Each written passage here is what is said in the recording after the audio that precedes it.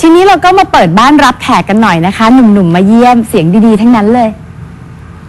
สงสัยหนุ่มว่านธนกฤษจะหายเหนื่อยจากการหนีสื่อแล้วนะคะ วันดีคืนดีเจ้าตัวก็เลยบุกประชิดทีมข่าว9 Entertain พร้อมบอกข่าวดีเรื่องคอนเสิร์ตใหญ่ครั้งแรกในชีวิตว่าน and the Guitar ที่จะมีขึ้นในวันเสาร์ที่ 24 มีนาคมนี้ แถมยังเตรียมตัวเตรียมใจมาให้สัมภาษณ์เรื่องภาพปั่นจักรยานกับอดีตแฟนสาว พิมพิมพ์มาดาจนแฟนๆลุ้นให้ทั้งคู่กลับมา spark รักใหม่กันอีกรอบค่ะ คือผมเนี่ยเริ่มปั่นอยู่แล้ว แล้วก็เขาก็คงเห็นแบบภาพอัปเดตในอินสตาแกรมหรืออะไรเงี้ยก็เลยแบบ อยากนึกสนุกอยากออกกำลังกายบ้างอะไรเงี้ยครับก็เลยอะไปซื้อจักรยานมา แล้วก็ไปปั่นด้วยกัน มีคนที่เรารู้สึกดีๆกับเขาเขาก็รู้สึกโอเค ในการที่จะมาทำนู่นทำนี่กับเราอย่างเงี้ยแล้วก็ยังคุยกันได้เหมือนเดิม มันก็ดีกว่าที่จะต้องแบบอ่าต้องรู้สึกว่าเป็นแบบนั้นแล้วมันอุ๊ยงอนกันไหมหรือมันอะไรเงี้ยที่จะมีโอกาสไหมครับกลับมาคบกันอีกรอบหนึง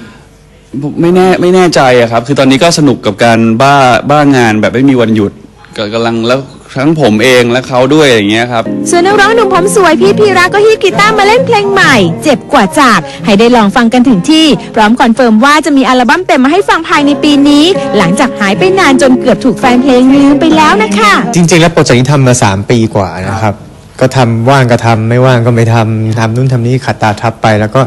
เอาอารมณ์เพียวๆอัดดนตรีก็อัดสดทุกชิ้นเข้ามาครับโดนทุกคนที่ทำงานร่วมกันเนี่ยแหละครับและผมเชื่อว่าน่าจะโดนอีกหลายคนที่ฟังด้วยครับ ขณะที่สาวหนุ่มเสียงดีจากเวที KPN บีและไต้ฝุ่นก็ขอวางไม้ชั่วคราว มารับจ็อบงานแสดงในบทในร้อยหนุ่มหน้าใสในหนังดังสุดสัปดาห์ เรื่องสายสืบบอยแบนด์ที่งานนี้หนุ่มไต้ฝุ่นตื่นเต้นแบบสุดๆ เพราะได้ประเดิมงานแสดงเป็นครั้งแรกค่ะ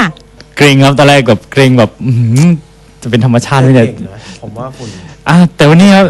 ตอนฉากแรกผมผมถ่ายถ่ายกับบี้ครับ ก็คือแบบอื้อหือจะเกรงจะทำยังไงดีนี่ครับ